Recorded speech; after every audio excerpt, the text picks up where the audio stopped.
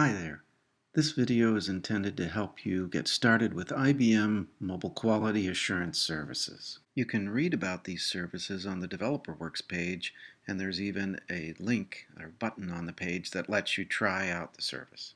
The first thing you'll see is the login page, but if this is the first time that you're visiting, you'll want to sign up and register an account first. It's quick and easy. There's just a few questions that you have to answer and then you uh, submit your registration or your sign up. The service sends you a couple of emails once you've completed the sign up process, and it's important that you go to your inbox and click on the confirmation link in those emails so that you can activate your account. Otherwise, you won't be able to sign in until you have confirmed your account. You can now sign in using your email and the password that you set up when you uh, created the uh, account. The first thing you'll see is your home page, and there won't be any applications in it initially because you haven't defined any yet. It's easy to add an app. All you have to do is give it a name, tell the service what platform or mobile operating system the application runs on, and optionally invite some other people to work with you on assessing the quality of the app, and then register it. Once you register the app, the service will show you its overview page with some very important information that you'll want to take note of.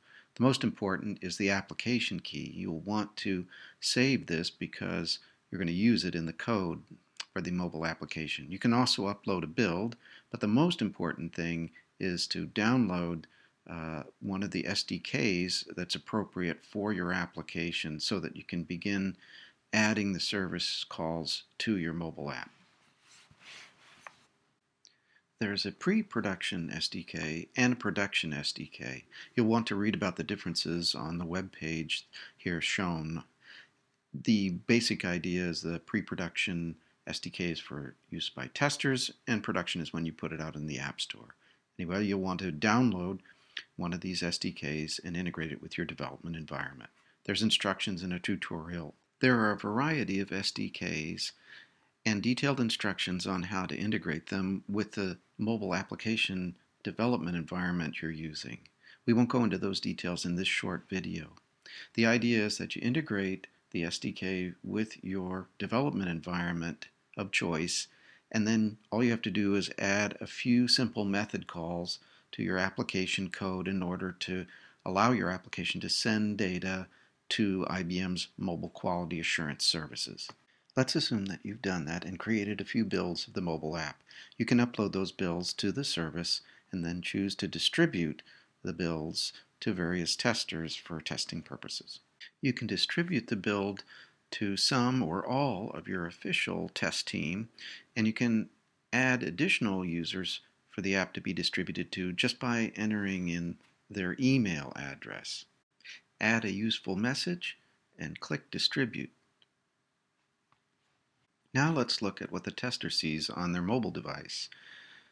When you distribute the app to them, they'll get an email message telling them the latest build is available.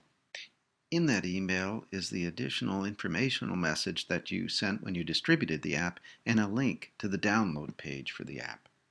Tap on the Install button and confirm that you really want to install the app. You'll see the typical download and install activity for a mobile application on your device. Once installed, tap on the application icon to start the app. The first thing you'll see is the Mobile Quality Assurance login page for the tester. Once the tester identifies themselves, you're taken directly to the regular front page of the mobile application. The tester can shake the phone to submit a bug and annotate the screen capture with their fingers. Once done with the screen capture, add additional text to describe the problem and submit the report. One more thing we'll do in the sample app in the demo is simulate a crash so crash log data can be sent back to the service and you can see that as well. Now we'll leave the tester's mobile device and go back to the web page for the Mobile Quality Assurance Services and see the information that's been collected off of the tester's device. You can see the bug report that I just submitted a moment ago and drill down into it to get all of the details about the state of the application and the device on which it was running at the time of the bug report. There's lots of information captured, including the device type, the network, even the battery and carrier information to help the developer determine the context of the application at the time the bug occurred. Now let's look at the crash reports for this application, including the one that I just created a few minutes ago. Note that the service correlates identical application crashes and tells you how many times the identical crash occurred within your application. There's a short version of the crash data and a much more detailed view. Finally, let's look at some statistics about this mobile app. You can see that the bug reports and crashes are grouped by build, so you can see which builds have more problems than others. And you can even see the device types that have been used to execute tests and submit data, as well as the operating systems that were running on those devices. Well, there you have it, a quick tour of IBM's Mobile Quality Assurance Services. I hope you found this video useful in getting to know the services, and now it's up to you to try them on your own mobile application.